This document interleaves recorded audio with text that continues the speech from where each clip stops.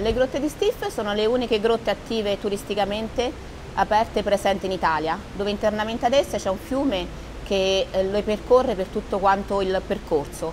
Oltre alle stalattiti, stalagmiti, colonne e colate, quindi le, i diversi tipi di concrezioni, ci sono internamente alle grotte di Stiffe anche due bellissime cascate che sono all'incirca alte 20 metri.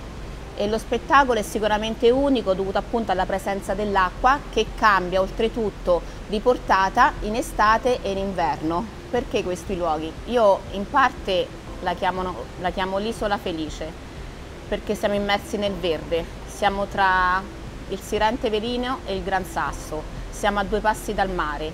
Qui ci sono delle piccole comunità, dei piccoli paesi che comunque ti danno mm, la sensazione di appartenenza, di unicità e soprattutto la tranquillità di vivere in mezzo al verde e, e come si dice, la sensazione di essere a casa, sempre e comunque.